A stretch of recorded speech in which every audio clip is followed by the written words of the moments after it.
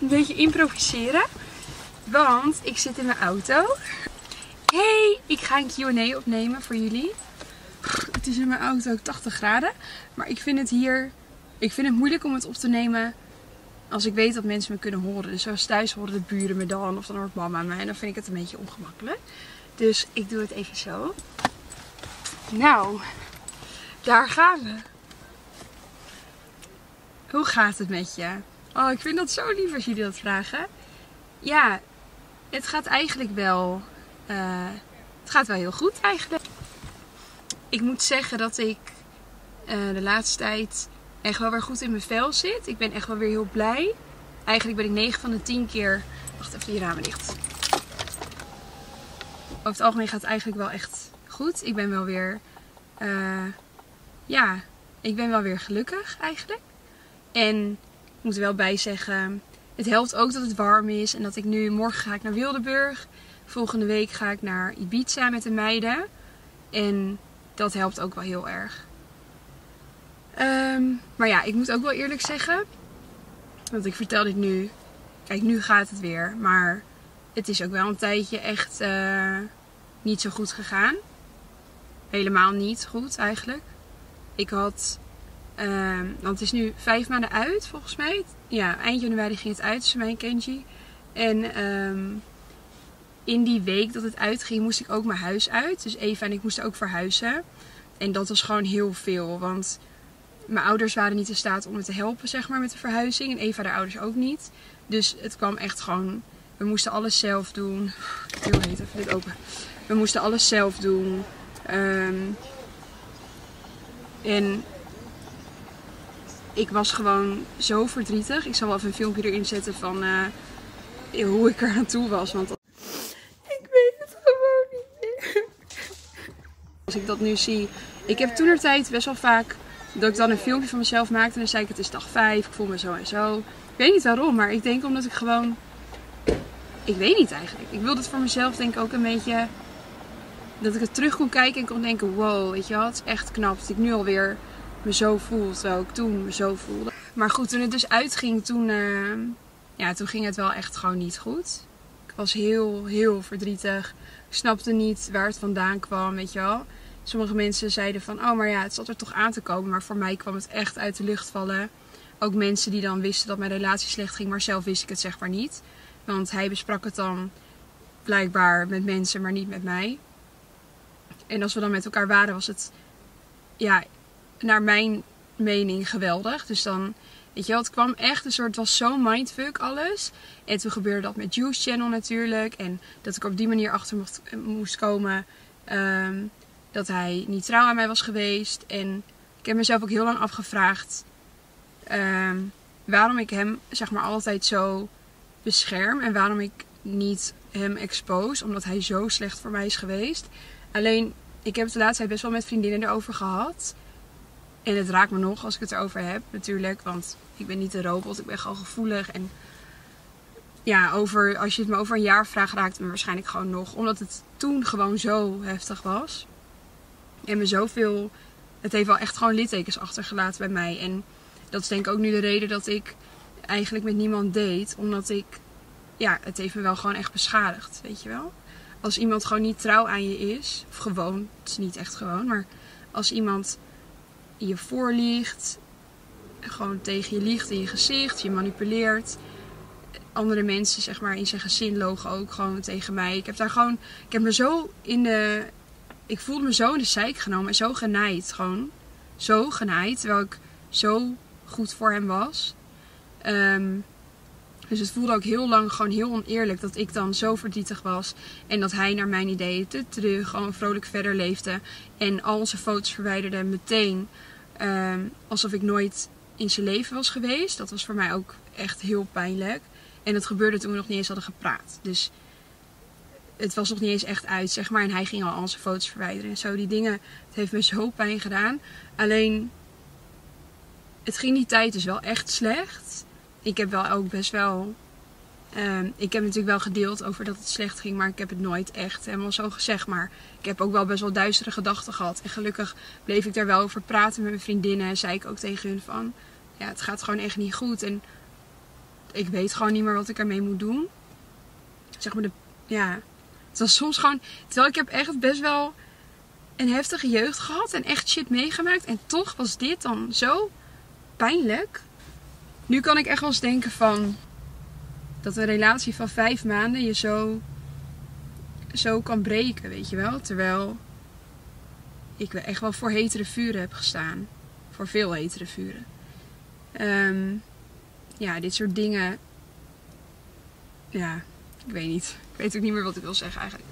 Maar het komt erop neer dat het toen heel slecht ging, maar ik ben in therapie gegaan. Ik heb EMDR gehad, uh, dat is traumaverwerking. En dat heb ik voor drie dingen gehad, zeg maar, waar ik dan... Uh, ik had een beetje een soort, niet paniek aanvallen, maar ik had wel als ik wakker werd gewoon paniek. En op een bepaald moment, ik durfde mijn telefoon niet meer op te nemen. Want dan was ik bang dat iemand weer wat had te vertellen over wat hij dan had gedaan, weet je wel. Dus ik, als mijn telefoon ging, kreeg ik helemaal. En als ik wakker werd, kreeg ik het. En nog een moment, ik weet even niet meer wat het was. Oh, ik weet wel weer wat het was. Um, op het moment dat hij me liet zitten en dat ik toen op Instagram kon zien dat hij gewoon in de club was. Terwijl hij mij zo verdrietig had gemaakt en liet zitten. Maar ik heb heel lang gedacht van waarom. Of ik heb laatst echt met mijn moeder, met mijn vriendin erover gehad van waarom heb ik hem nooit zeg maar exposed? Waarom heb ik nooit de vuile was buiten gehangen? Maar ik dacht gewoon, en dat zeiden zij ook, van dat het gewoon niet bij me past en dat het me ook niet zou sieren. En toen dacht ik ook, nee, dat is waarschijnlijk ook omdat ik het niet heb gedaan. Want als jullie slecht over hem denken, dat heeft, ja, wat, wat heb ik daaraan? Dus daarom heb ik ook niet.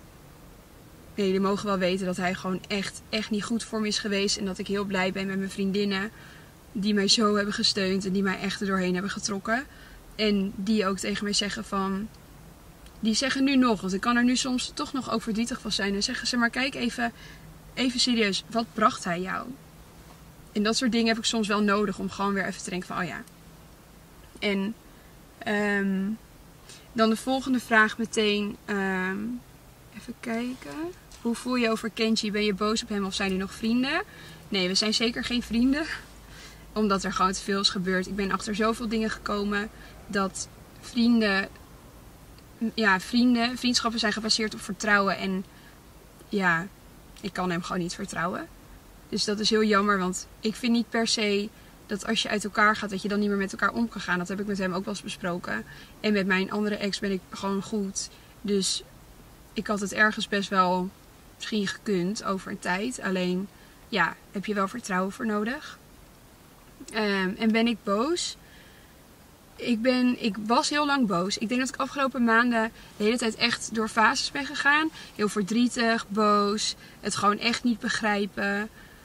Maar ik ben nu wel op het punt. Laatst had ik een moment. Dat was echt heel ineens. Toen had ik gewoon heel erg het gevoel dat ik hem moest vergeven voor mezelf. Om zelf verder te kunnen. Om er zelf vrede mee te krijgen. Um, en ik spreek hem dus niet meer. Wij spreken elkaar eigenlijk nooit. Omdat. Uh, ja. Eigenlijk omdat ik toch ik, ik wil dan antwoorden van hem, maar hij gaat me de antwoorden nooit geven. En als hij ze geeft, weet ik niet of het waar is of niet. Dus weet je wel, voor mij heeft het geen toegevoegde waarde om hem te spreken. Dat zou het voor mij alleen maar moeilijker maken.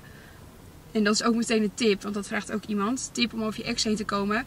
Blokkeer hem overal op. En ja, dat is heel pijnlijk, want je verliest echt iemand. Iemand is ineens poef. Van je beste vriend is diegene ineens gewoon een vreemde.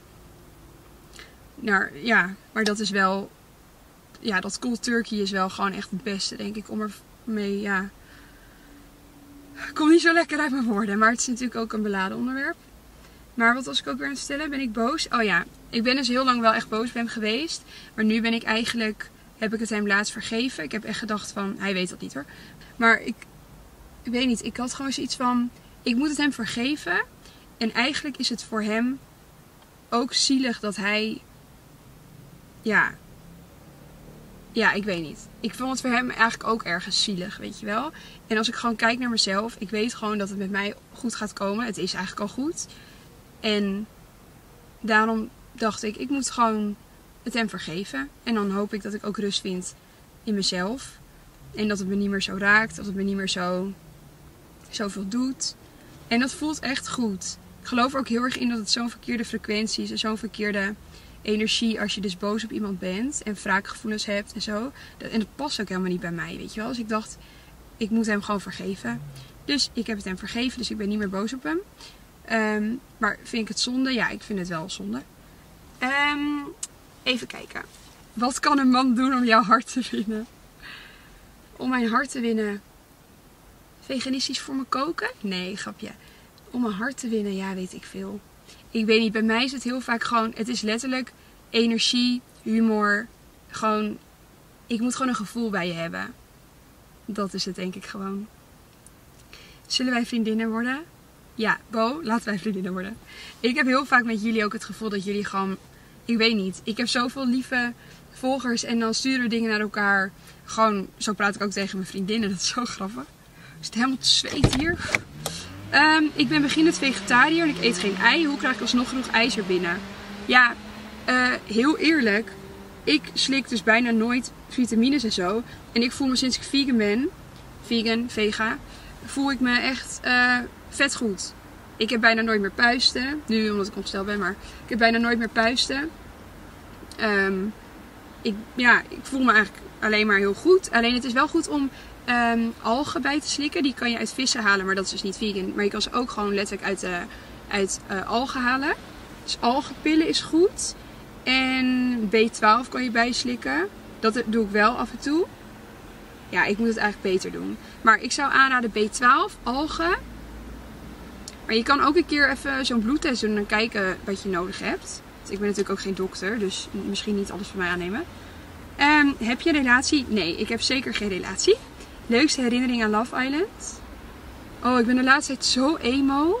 Want het is nu dus, volgende maand is het een maand geleden, of een uh, jaar geleden dat ik daarheen ging. En ik ben helemaal emo.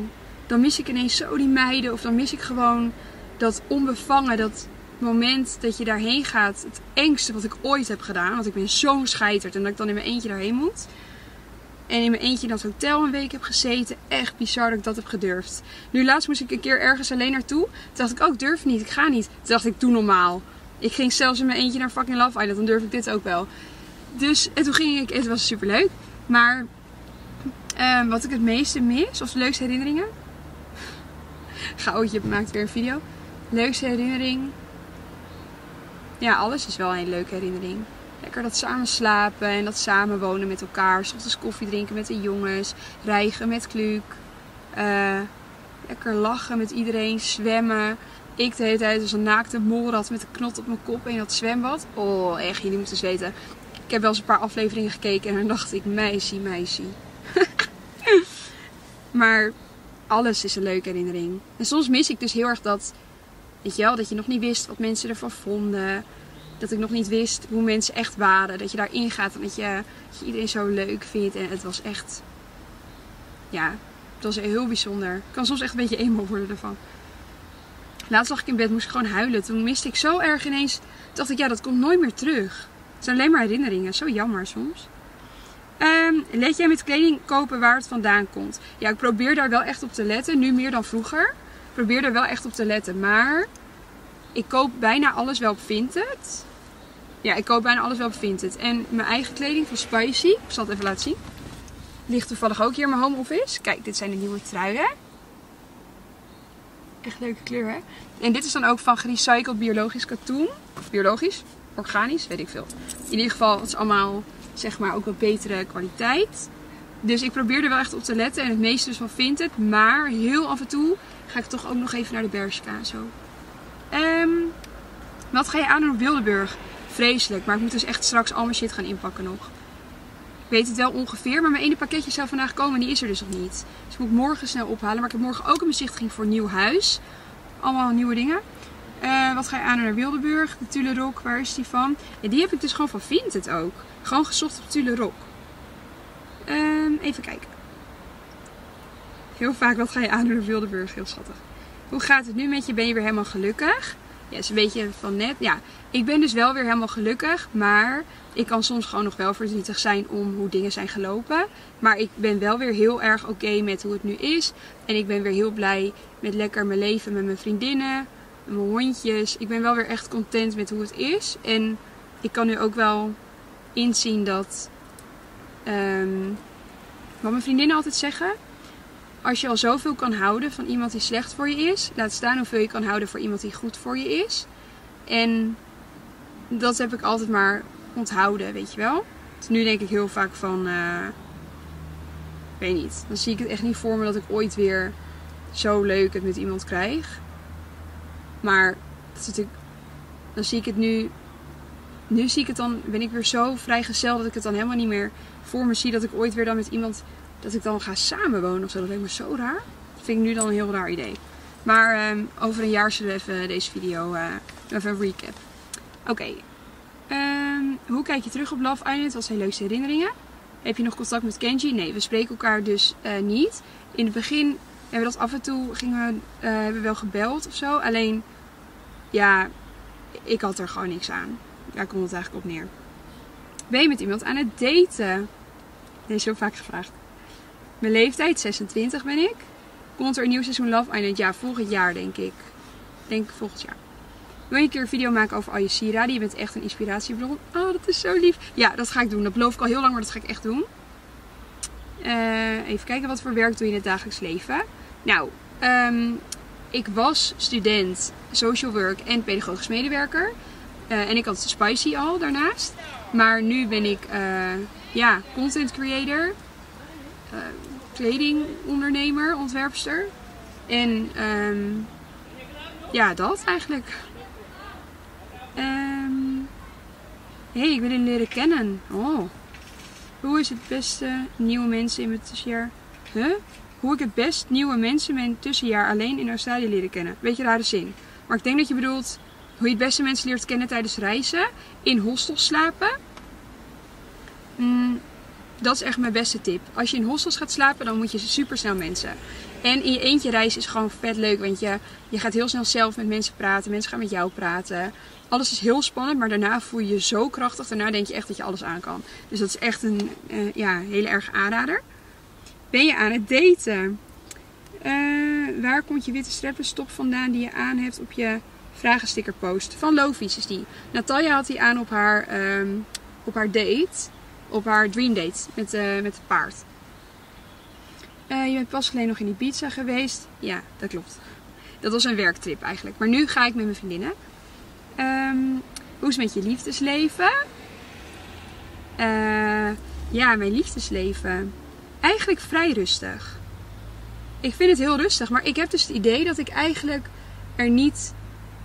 Ik ben er niet zo mee bezig. Ik ben niet echt nu op zoek naar iemand voor huisje, boompje, beestje of zo.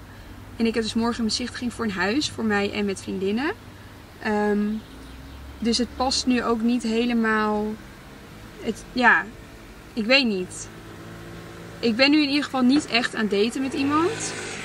Ja, mijn liefdesleven. Jullie zijn allemaal benieuwd, hè? Nou, ik kan je vertellen. Het is niet veel soeps. Het is echt, het is rustig. Maar dat is ook goed. Want ik ga lekker morgen naar Wildeburg en zo. Dus het is misschien ook wel, het is ook beter. En het is ook goed. Ik denk dat je na een relatie echt niet meteen hup in de volgende relatie moet springen. Want, ik weet niet. Voor mijn gevoel moet ik eerst echt zelf weer helemaal geheeld zijn. Echt oké met mezelf. Misschien toch nog weer even in therapie. Even in therapie, maar je snapt wat ik bedoel. Ehm, ik denk niet. Ja, ik weet niet. En het komt zoals het komt. En het universum. eh, ja, het universum had blijkbaar andere plannen voor me. Dus ik ben heel benieuwd. En voor nu geniet ik heel erg van het lekker vrijgezel zijn. Ik wil heel lang met kindjes vliegen, maar het is zo duur. Heb je tips? Ehm, ja, ik denk dat het, ja, met kindjes, die zitten natuurlijk met de vakanties. Maar stel ze zijn nog niet leerplichtig, dan kan je misschien buiten seizoen gaan. En ja, verder tips. Ja, ik moet zeggen, ik ben ook meestal niet echt de reisleider. Ik heb nu ook gewoon de tickets betaald en verder heb ik eigenlijk niks gedaan voor Ibiza. Dus ik ben ook niet zo'n hele goede reisleider, sorry. Maar ik denk buiten seizoen beste. Ja, dat eigenlijk. En misschien wel lekker naar Spanje, maar niet naar, ja, niet naar Ibiza of zo. Maar dan misschien gewoon naar...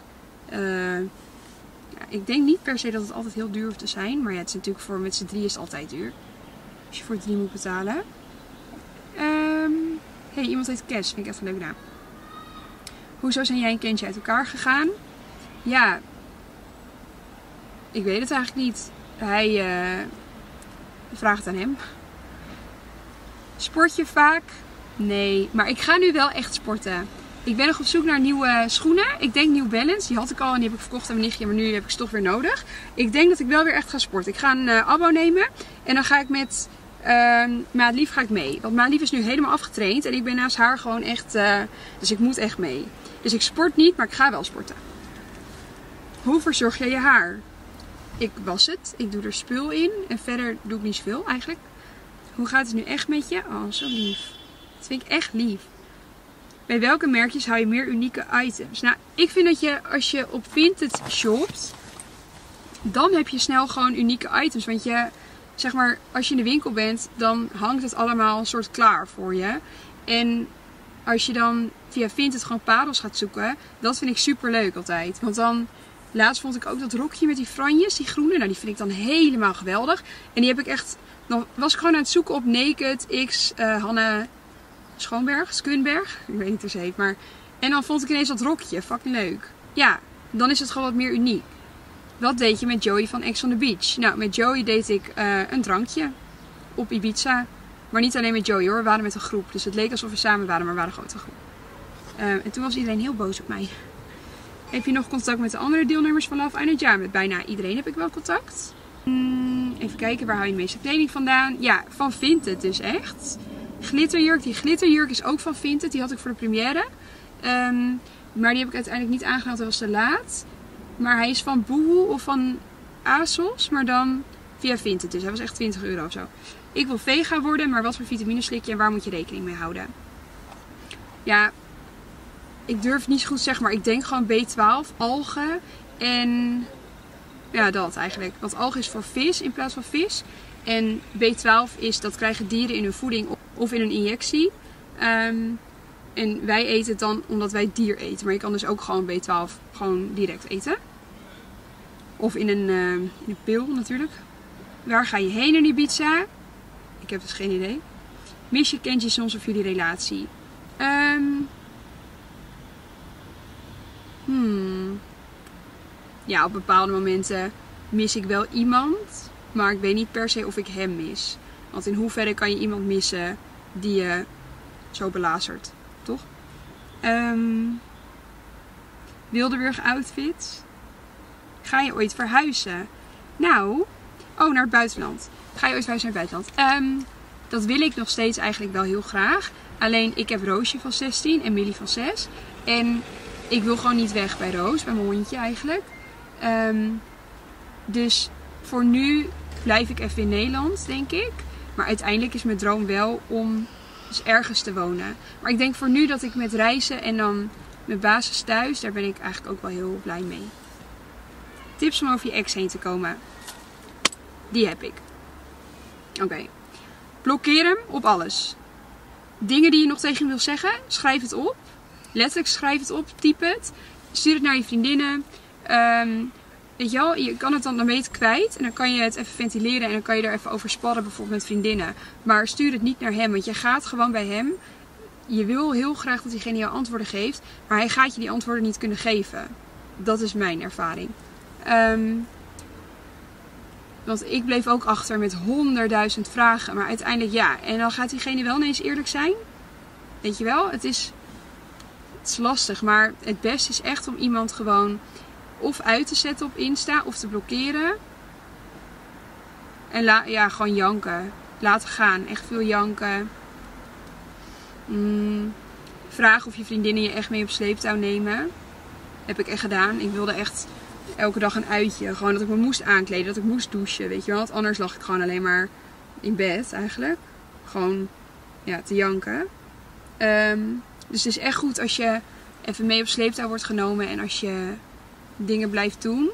Al is het even je masker opzetten, even ergens een wijntje drinken en dan weer naar huis en dan weer helemaal uh, in mineur. Maar dan ben je toch even buiten geweest en dan ben je toch even ergens geweest en onder de mensen. En blijf gewoon praten. Um, organiseer avondjes met je vriendinnen, weet je wel. Ik deed dat ook. Ik noem het voor de grote break-up party. Terwijl was niks leuks aan. Alleen al mijn vriendinnen waren er, we hadden wijntjes. En je moet het voor jezelf gewoon draaglijk maken. ja, dat eigenlijk. Dus echt zorgen dat je gewoon hem nergens ziet. Dat het niet de hele tijd dat je eraan wordt herinnerd, weet je wel. Verder, het komt echt goed. Kijk naar mij. Het komt echt goed. Echt vijf maanden geleden, als je dit tegen me had gezegd dat ik er nu al zo bij zou zitten, had ik echt gezegd, nooit. Ik kon niet meer eten. Ik kon niet slapen. Ik was echt een zombie. En kijk nu, ik ben weer happy. Ik ben lekker blij met mijn vriendinnen. Ja, het komt echt goed. Serieus. En je mag me altijd een bericht sturen. Ehm,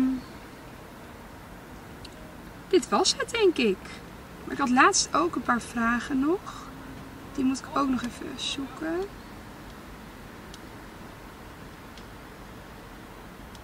Oh, hier.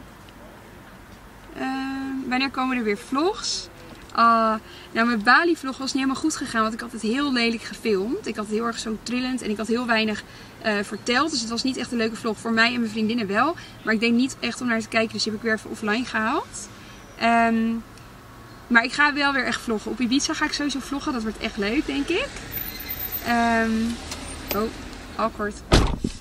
Oké, hoe heb je zo lang haar ondanks de bleken? Nou, dit zijn extensions. Maar je ziet het niet, hè? Maar uh, ik had vroeger mooi lang haar voor mezelf. Alleen ja, door het bleken gaat het dus helemaal kapot. Dus dan moet je extensions. Dus eigenlijk moet je gewoon nooit je haar verven. Maar mijn eigen haar is donkerbruin. Maar dat past toch niet bij me? Heb je lipfillers? Ja, ik heb het nu echt anderhalf jaar niet gedaan. December, niet afgelopen december, maar dat jaar ervoor. Maar ik weet niet, het blijft heel goed zitten of zo. En als ik heb gehuild, zijn ze heel dik. Dus dan zijn mijn ogen dik en mijn lippen dik. dik. En mijn lippen dik. Um, tips voor single meiden die het moeilijk vinden om single te zijn. Oh, dat vind ik echt zielig om te horen. Ja, waarom vind je het moeilijk? Ik denk dat je heel erg moet gaan nadenken wat het is. Waarom je niet, zeg maar, happy bent met jezelf. En ja, eigenlijk is het best om daar dan ook voor met iemand te gaan praten. Want dat is eigenlijk een soort liefde in jezelf. Zelfliefde.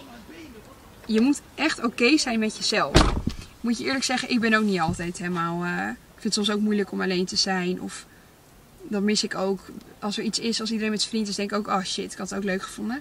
Maar nu trouwens niet. Nu vind ik het echt super chill om alleen te zijn. Maar en dat je nergens rekening mee moet houden. Je moet ook de positieve kanten bekijken. Je hoeft met niemand rekening te houden. Je kan, als je drie keer per week uit wil, kan je drie keer per week uit. Nooit iemand die zegt, schat, ben je al thuis? Weet je wel? Of uh, kan je locatie aanzetten? Dat heb je allemaal niet. Hoe heerlijk.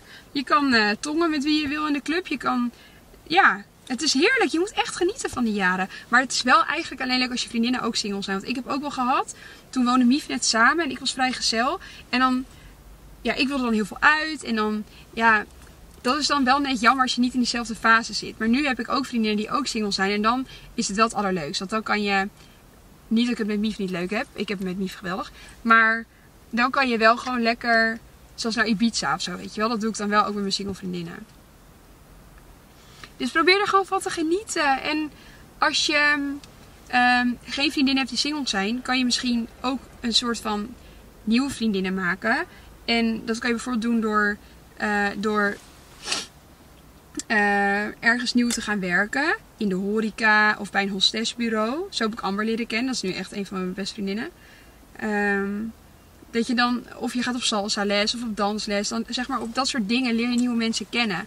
En Amber en ik waren allebei vrijgezel net. Woonden net in Amsterdam. Dus wij hebben elkaar toen helemaal gevonden. Omdat we gewoon heel erg hetzelfde. We zaten, we zijn ook letterlijk één week verschillen van leeftijd. Uh, ja, dat is gewoon heel grappig. Dat je dan ja, dus dat raad ik eigenlijk aan. Ga lekker uh, misschien vriendinnen zoeken die ook single zijn. En ga samen gewoon vet veel lol maken. En geniet ervan. Dat is echt leuk. Het is echt heel leuk. Wat ga je allemaal meenemen naar Wildeburg aan outfits? Ik vind het zo moeilijk dit jaar. Ja, ik dus ook. Want het wordt heel raar weer. Ik weet niet of het... Um, het is nu vet warm. Ik zit hier nu helemaal te zwetsen. Maar het wordt dus op Wildeburg... Oh, die meneer denkt waarschijnlijk wat fout. Maar het wordt dus op gaat het volgens mij gewoon regenen ook. Dus ik weet het ook nog niet. Sorry, ik zou je graag helpen, maar ik weet het ook nog niet. Um, hoe gaat het met mijn hondje? Ja, gaat goed met mijn hondjes. Oh, wat lief dat je dat vraagt. Um, welke festivals heb je nog op de planning? Lowlands. Parels van de stad. Deuntjes misschien. Deuntjes ben ik misschien naar Lowlands. Liefdesleven. Jij en Mifi familie. Ja, Mief en ik zijn achternichten. Um, Was je niet zenuwachtig om jezelf terug te zien op tv? Ja, heel zenuwachtig. Heel, heel, heel. Want je hebt geen idee, hè? We hebben niks gezien. Alleen bij die finale hebben we een klein stukje gezien. Nou, en dan zie je ze. Oh, dan bij de movie night. En dan zag ik mezelf en dan dacht ik, hè? Dat is zo raar. Want überhaupt zie je jezelf in de spiegel is ook altijd heel anders dan hoe andere personen jou zien. Ja, het is heel spacend. Het is echt heel spacend. Maar ik vond het wel ook heel leuk. Een beetje raar misschien, maar ik vond het dus vet leuk. Ehm waar koop je kleren? Ja, voornamelijk Vinted dus. Waar is dat leuke pak van op die foto? Ik weet niet meer wat ik aan had op die foto. Welk pak? Sorry, ik weet het niet meer. Oh, van Stieglitz denk ik. Denk van Stieglitz. Mm, aangifte. BTW-aangifte. Voor als je ondernemer bent, moet je aangifte doen. Belastingaangifte. Contact met Kenji. Ja, heb ik al besproken. Nee, dus. En denk ook niet dat dat er ooit in gaat zitten. Ehm, misschien over tien jaar. Maar denk het niet. Vind je Vliebeertje lief? Ik vind Vlie heel lief. Nou, dat was het denk ik. Dat was het. Oeh, ik ben blij dat ik hem heb opgenomen. Ik was echt een beetje zenuwachtig. Ik zat al een weekje dat ik dacht, ik wil even die Q&A doen. Ik wil, ik wil even heel veel vragen natuurlijk over, um, over mijn ex. En snap ik. Ik zou dat ook echt willen weten. We waren ook gevraagd voor Eating with my ex, maar ik ga dat echt niet doen. Zit ik daar te janken. Met zo'n... Oh, ik hoop dat jullie het leuk vonden. Ik laat even een beetje lucht in die zweetnek. En ja, moet ik dat vaker doen? En ik ga dus weer vloggen. En heel lief jullie vragen. Vind ik echt heel leuk dat jullie ook de moeite nemen om dan die vragen in te sturen. Dus ik hoop dat jullie me een beetje beter hebben leren kennen. En tot de volgende. Doei!